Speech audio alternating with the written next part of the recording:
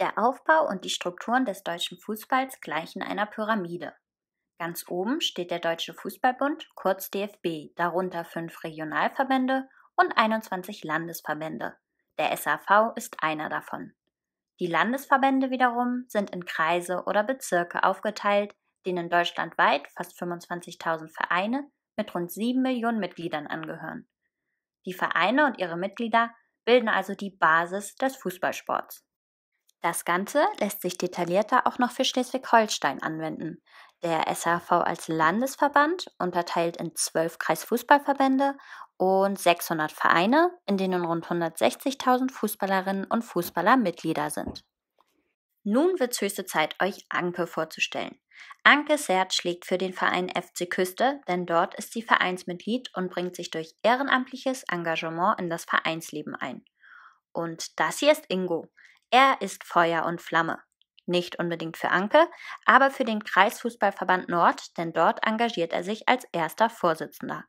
Den FC Küste und KV Nord gibt's in Wirklichkeit nicht, sollen uns aber bei der Darstellung der Strukturen beispielhaft helfen. Und was haben der Verein und der KV nun miteinander zu tun? Gucken wir uns dazu zunächst den FC Küste an. Das oberste Organ eines Vereins ist die Mitgliederversammlung. Hier können alle Mitglieder des Vereins teilnehmen, also ist auch Anke dabei. Sie kann hier ihre Meinung äußern, sich an Wahlen sowohl personell als auch strukturell, zum Beispiel bei Satzungsänderungen, beteiligen und über den Vertreter des Vereins auf dem Kreistag bestimmen. Eine Mitgliederversammlung findet in der Regel einmal im Jahr statt.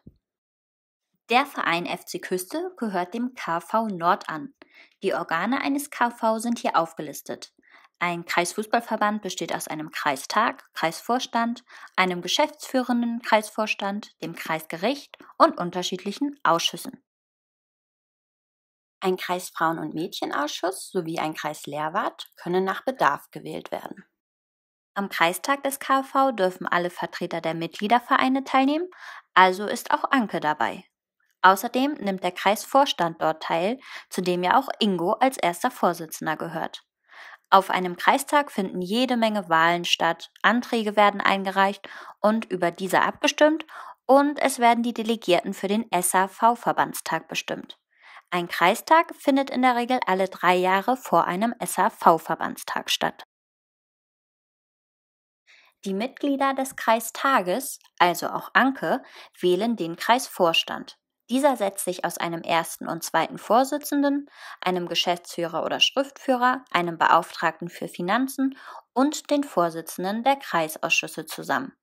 Der Kreistag, also auch die angehörigen Vereine, bestimmen also ihren Vorstand, zu dem unter anderem Ingo gehört, der dann als Vertreter seines Kreises im SAV-Präsidium sitzt. Aber wie können sich Anke und Ingo nun in das Verbandswesen einbringen? Das erklären wir euch in Folge 2, wenn es um die Organe des SHV geht. Euch hat das Video gefallen? Dann haltet euch auch auf unserer Homepage, auf Facebook und auf Instagram auf dem Laufenden.